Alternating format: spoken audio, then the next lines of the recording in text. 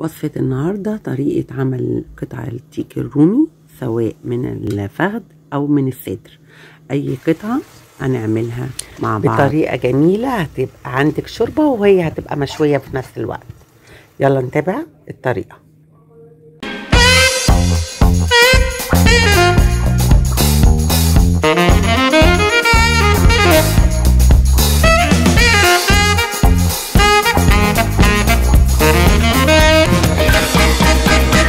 القطع الديك الرومي. أنا هنا عملت له محلول آه عبارة عن معلقتين دقيق كبار ومعلقة ملح كبيرة وعصير ليمونة ومعلقة خل. بنقعهم فيهم شوية آه وبغسلهم مرة واتنين وتلاتة أهم حاجة في الحاجة دي. تمام؟ وبعد كده آه بصفيهم كويس وبحط عليهم فلفل آه أسمر. آه إحنا هنعمل هنا طريقة الديك الرومي اللي ما يطلعش معاكي آه زفر. أو ليه طعم كده مش مستحب. آه وكمان هيطلع معاكي شوربة حلوة جدا. آه هنا أنا هجيب الحلة بتاعتي. هنزل بمعلقة سمنة بلدي. وهيكون معايا توم.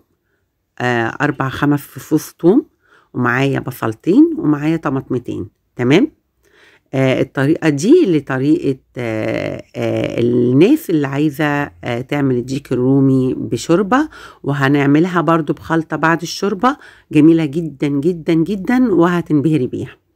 آه هنا نزلت بالأربع خمس آه سليم. يا دوبك عطيته تكسيرة كده بالسكينة مش متقطع. وبديله تشويحة في قلب معلقة السمنة. التكات ديت لازم تتبعيها وهتفرق معاكي جدا جدا في الطعم. بديها تقليبة. يا دوبك تديني اللون الذهبي الفاتح.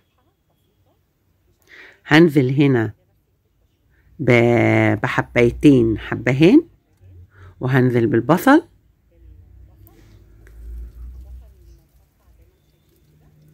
وهديله تشويحة. تشويحة فقط.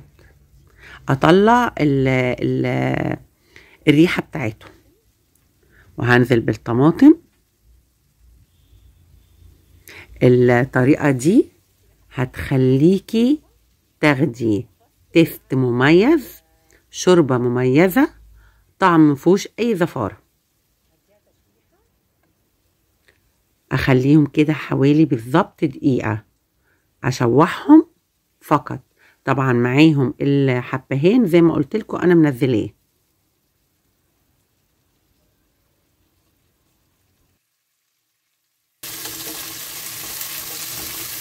عايزه أقول لكم الريحه طالعة حلوة جدا. ريحة فص الثوم مع التوابل. وأنا ما بحبش توابل كتير. أنت ممكن تحطي فص مستكة معاهم وورقة لورا. وطبعا هيتحط ملح وفلفل أسمر بس مش دلوقتي. تمام كده اخدوا تشويحه أهي. هوسع كده.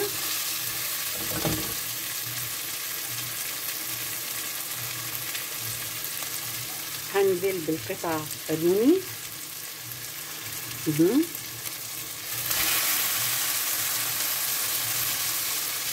تكوني طبعا مسخنة مية في الكتل لدرجة الغليان.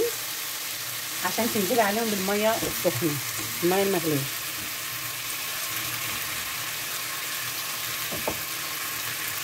طبعا دي رقبة وفي صدر وفي كتف تمام؟ يعني آه مش منطقة معينة تدوني أي منطقة مش هتقول لك لأ الطريقة ديت هتبقى جميلة جدا. صدر أهو.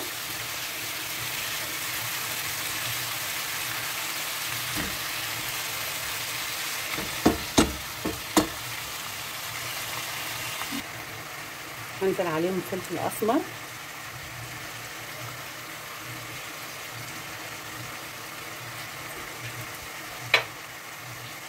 بسيبهم على نار عالية كده يتشوحوا. يتشوح لحد ما يشرب المية بتاعته. وانزل المية عليه أخليه يفضل يتشوح لحد ما يبقاش في مية خالص.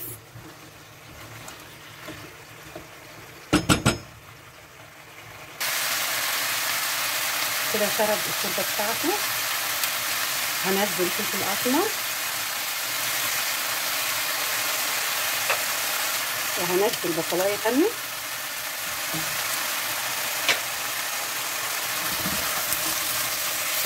كده تمام جدا.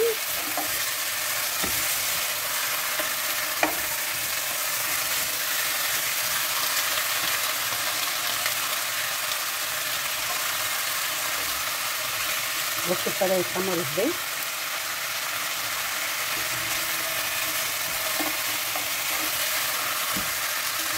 اهي ابتدى ياخد لون. عشان كده نزلت عليه بالبصلة الثانية البصل كل ما كان كتير في الشوربة كل ما بيبقى طعم. انزل عليه بالمية المغلية.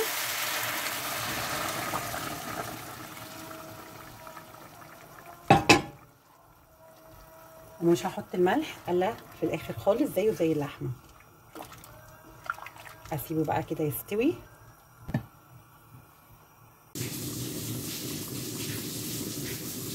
لا تنسى الإعجاب بالفيديو والاشتراك في القناة وتفعيل الجرس لضمان وصول فيديوهاتنا لكم. وده كده بعد ما جربت واستوى فضل حوالي نص ساعة على النار وطبعا ده حسب آه نوعية اللحمة اللي انت جايباها لحمة الديك الرومي يعني. أنا هنا نشلته وحطيته في البايركس. أنا هعمل بقى التتبيلة المميزة اللي هتديكي طعم المشوي. هنعمله مشوي. كده جبت حتة معلقة كبيرة سمنة بلدي نزلت عليها بفلفل أسمر وفص ثوم معلقة صلصة ولو حابة جزء بسيط جدا من مكعب مرقة الدجاج. دهنته بيها كله كل الجسم من بره ومن جوه. ودخلته تحت الشواية. الثوم مع الصلصة مع التوابل. آه عطاله طعم مشوي تحفة. آه أتمنى تكون وصفتي النهاردة عجبتكم. آه للناس المبتدئين اللي حابين آه يعملوا آه الرومي بشكل آه التقليدي. أنا هنا كنت عاملة معاه محشي وبمبار وبتنجان. آه أتمنى تكون وصفتي النهاردة عجبتكم وإلى اللقاء في وصفة جديدة أخرى.